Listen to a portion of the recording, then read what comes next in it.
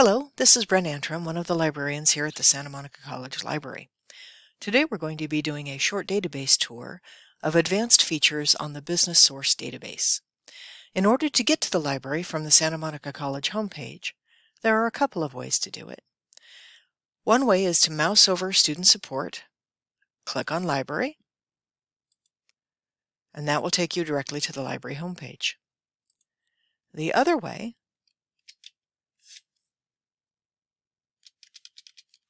from the Santa Monica College homepage, the short URL is just slash library. Once you're there, you'll notice a variety of resources available to you and a lot of information also available to you, including this YouTube channel and Ask a Librarian where you can get help if you need when you're doing your research. In order to find a specific database, in this case Business Source, you click on the Databases button. They are broken down by topic. All databases is a list of everything we currently subscribe to with a short description of what's in each database. Ebooks are databases that are primarily ebooks or have significant ebook content. Then it's broken down by topic. And today, because we're looking for business, we head into the business resources. This only has a listing of those databases that are specific to this topic or significantly include information on this topic. This is not an alphabetical order. This has the business databases first, and then the general topic or the general databases that include business topics listed alphabetically after. Business Source Elite is our primary business database, so we click there first. If you are off campus at this time, it will require you to log in and you log in with the name part of your SMC email and the password that you picked. If you just wanted to select um, a particular topic and search for journal articles, you could do that here. But this database has much more. And the two things that we're going to look at today are a publication search and company profiles. The first thing we're going to do is a publication search. Say your instructor has directed you toward a specific um, publication and you want to know, do we have that? You head into publications and your search changes. You can browse or you can search either alphabetically by title, by a description of it, or by any words in that title if you know you have some of it but not all of it. So say for example, I want a journal that I know is called something Harvard Review. So if I just type in Harvard Review, and I say match any words, it will bring up any database subset, which could be a specific journal or a group of journals that include that. And as I scroll through here, I might say, oh, this is the one my instructor was talking about. So I click on the title of that, and it will tell me information about it and allow me to search within it. So for example, if I'm looking for the Harvard Business Review, it will tell me that while it has information about that journal going all the way back to 1922, it has the actual articles themselves from 1985 to now. Full text means you can get the whole article. Okay. Then, if you have a volume and issue that you're looking for specifically, say I'm looking for something that was published at the beginning of 2022, you can click on that year over here under All Issues and Articles, and it will bring up specific volumes and issues. So if your instructor has said, you know, I want you to look in the March issue of Harvard Business Review to find this article, you can go in there, click on that issue, and it will give you all of the articles that were published in that issue.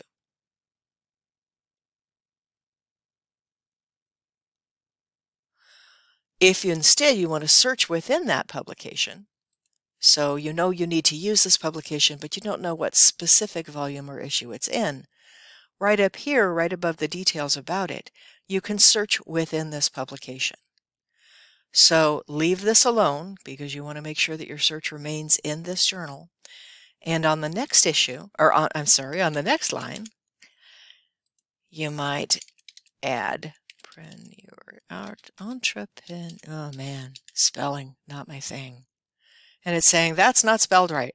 So I'm going to say CEOs instead. Search term alternation, a good thing when you can't spell French English words. So when I search that, I want to be sure before I search it that full text is limited because I want to get information from articles, not just information about articles. Then I search it out and it will tell me within this particular um, article, uh, article listing from this journal, there are 57 articles on women CEOs and there are 90 journal articles and they go all the way back to 1986. So maybe I want something a little more current. I can change this date limiter.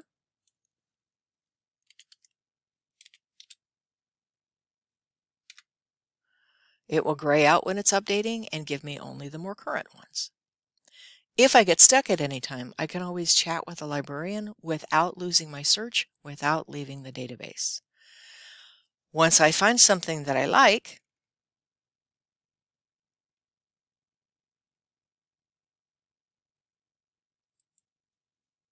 I click on it. It gives me information about the article, an abstract or short description of the article. It allows me to get just the text with none of the graphics, or it allows me to look at a PDF, which is essentially the same as if you were looking at it in print.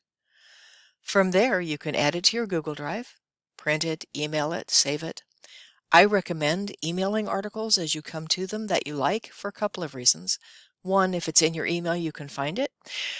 The other is it gives you citation help. So say, for example, I'm going to use the APA citation in this class. I can say, give me APA.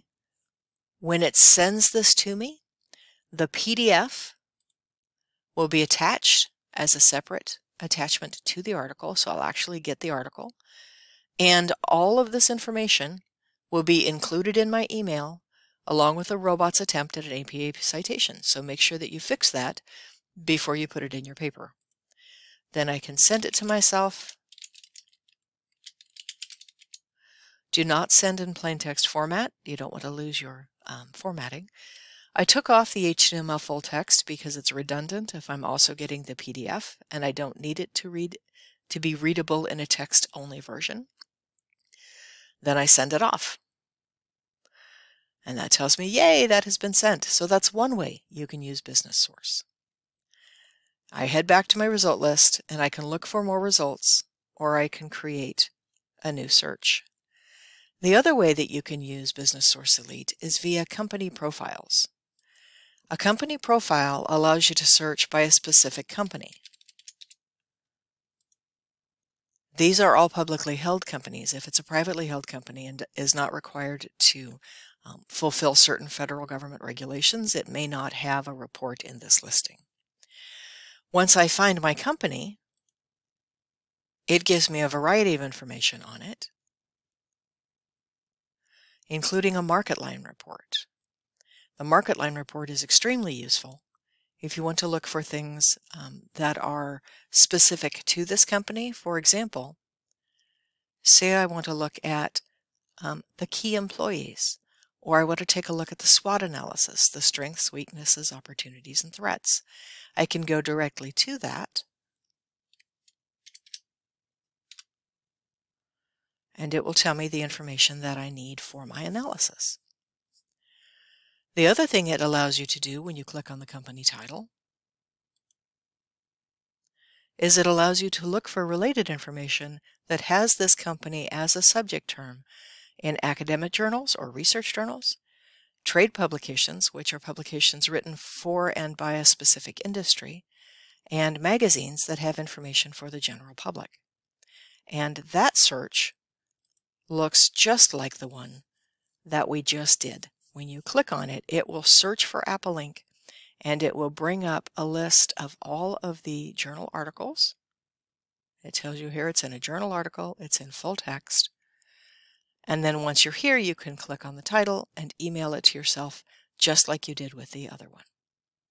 If you have any questions at any time, you can chat with a librarian here, and also you can ask a librarian on the Santa Monica College library homepage. Be well.